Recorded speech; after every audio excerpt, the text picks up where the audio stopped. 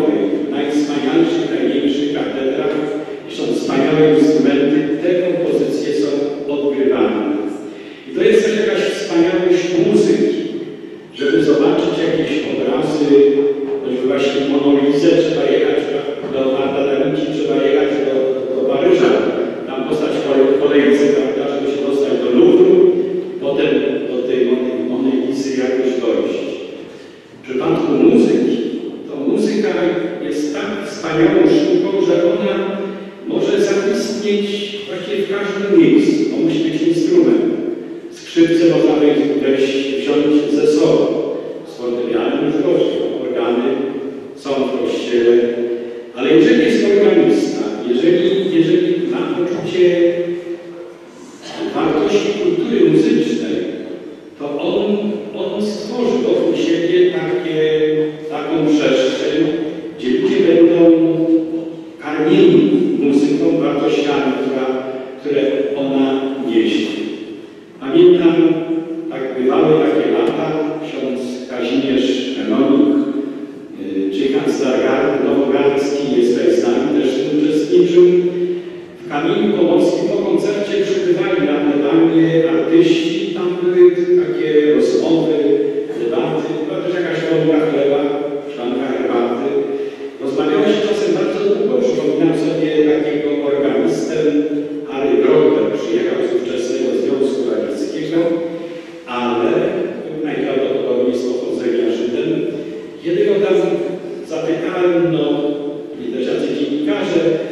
dlaczego on właśnie uprawia tę muzykę w takim kraju,